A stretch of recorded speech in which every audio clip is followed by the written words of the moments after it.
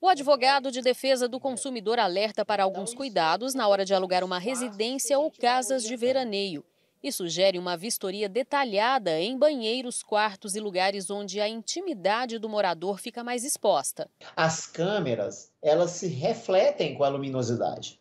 Né? Então é interessante, naqueles pontos estratégicos, banheiro, quarto, onde há maior intimidade das pessoas, que você pegue a lâmpada do seu celular, acenda a lâmpada do seu celular e você faça o quê? Você chegue perto daqueles locais escuros, onde você vê que pode ser instalada uma lâmpada, uma câmera, e, e verifique se há algum reflexo. Quando câmeras são instaladas sem o consentimento do inquilino, a responsabilidade pode ser atribuída tanto ao dono do imóvel quanto ao intermediário que fez a locação, ou até mesmo ao inquilino anterior. Principalmente aí nessas locações de veraneio, né, ou, temporada, o Airbnb.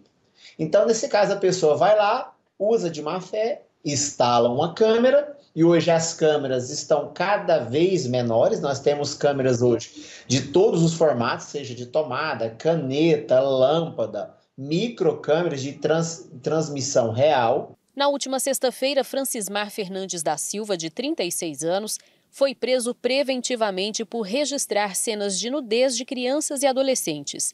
O caso ocorreu na cidade de Anápolis.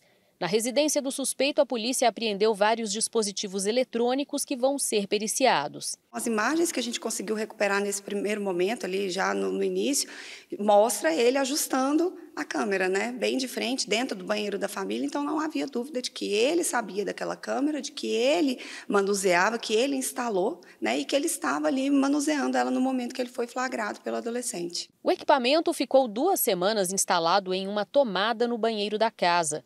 Segundo a polícia, o aparelho transmitia em tempo real as imagens captadas e ainda armazenava os arquivos de vídeos e fotos.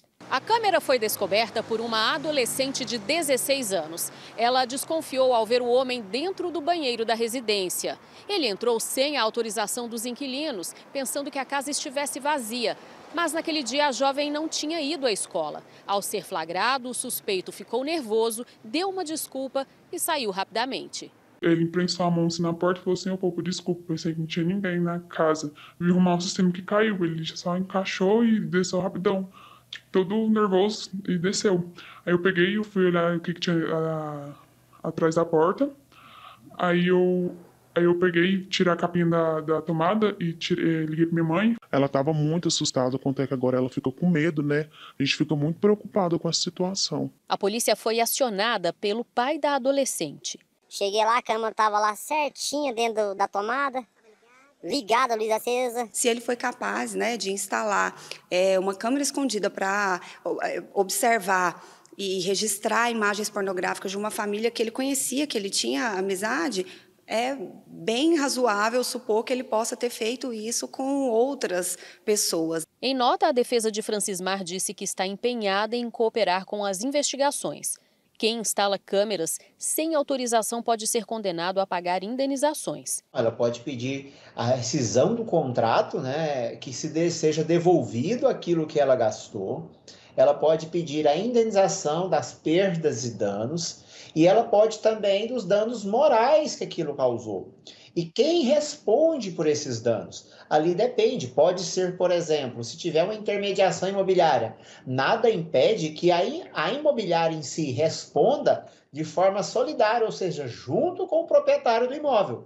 Então, a, os danos podem estender, porque o Código de Defesa do Consumidor é claro no, quando fala que todos aqueles que participam do dano, eles devem repará-lo.